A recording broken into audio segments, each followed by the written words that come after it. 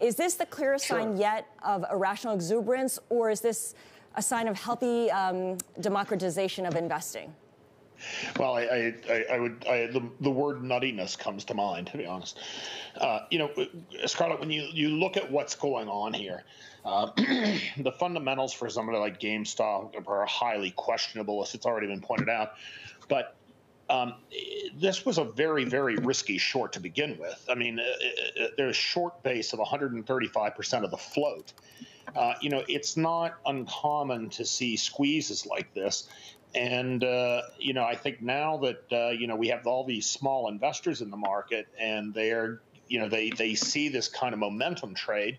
Uh, they see the opportunity to make money, and and this is exactly the sort of frothiness uh, that you would expect as you start to approach a market top. But but let me just say one thing for uh, you know all the people that are watching. Uh, while there's frothiness, while valuations are getting extended, these are poor timing tools. And so uh, this could go on for, for quite a while. My view has always been it'll go through on through the the end of the first quarter.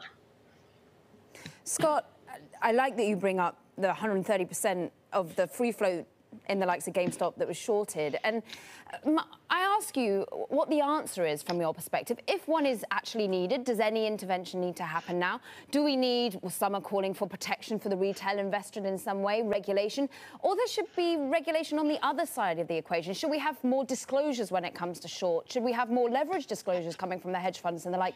Does anything need to be done in your mind's eye? Well, I think, look, Caroline, good, good disclosure on short positions uh, would be a wise move. Uh, and, and we do have a lot of disclosure right now. Uh, the, the thing that is um, uh, most challenging for me uh, in looking at this is to understand the rationale for taking on an outsized short position uh, in a thinly traded stock. I mean, this was a micro cap stock 30 days ago, and today it's a large cap. And so, uh, and it's entirely being driven around by the, the technical imbalances.